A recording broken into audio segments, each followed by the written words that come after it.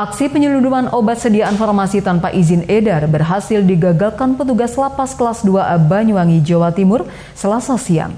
Modusnya tergolong baru, guna mengelabui petugas, ratusan butir pil trek itu dihaluskan oleh pelaku, kemudian dicampur ke dalam bubuk minuman sereal. Rencananya pil memabukkan yang sudah dihaluskan tersebut akan diedarkan di dalam lapas dalam bentuk seduhan minuman hangat dengan harga Rp20.000 per gelasnya. Percobaan penyelundupan barang-barang terlarang ke dalam lapas kelas 2A Banyuwangi kembali terjadi. Kali ini, seorang perempuan yang berpura-pura mengantarkan makanan ke dalam lapas kedapatan hendak menyelundupkan obat sediaan farmasi jenis trek pada selasa siang. Beruntung, penyelundupan obat daftar G ini berhasil diketahui petugas sehingga obat penenang yang bisa memberikan efek halusinasi bagi yang mengkonsumsi ini tak sampai beredar di dalam lapas. Modus penyelundupan pil trek ke dalam lapas kali ini tergolong baru. Wanita bernama Linda Agustina, 34 tahun, warga kecamatan Siliragung, Banyuwangi, yang menyelundupkan obat sediaan farmasi ini terlebih dahulu menghaluskan ratusan pil trek dengan palu hingga berbentuk bubuk. Bubuk pil trek tersebut kemudian dicampur ke dalam bubuk minuman sereal yang sudah dibungkus plastik.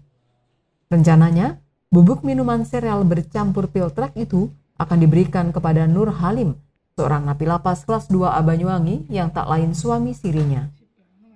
Kepada petugas, Nur Halim mengaku bahwa bubuk pil trek yang dicampur minuman sereal itu memang pesanannya dan rencananya akan diedarkan ke dalam lapas dalam bentuk seduhan minuman hangat dengan harga Rp20.000 per gelasnya. Jadi urutan kejadiannya sebagai berikut. Eh, jam 9 LA datang bersama anaknya untuk menitipkan makanan jadi makanannya antara lain ada Indomie, kopi dan yang lain-lain dan juga di situ diselundupkan uh, minuman sereal yang sudah dicampur dengan obat daftar G ditumbuk dihaluskan. Nah, menurut keterangan kepada yang bersangkutan itu ada satu box yang di mana satu boxnya itu berisi 100 butir pil daftar G.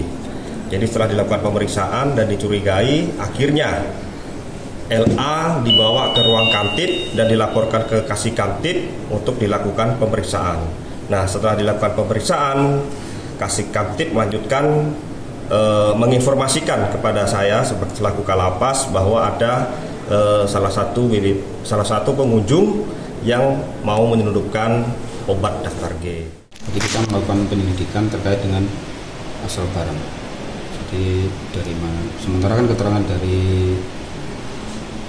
yang perempuan yang bawa ini kan dari inisial A nanti akan kami dalam lagi sementara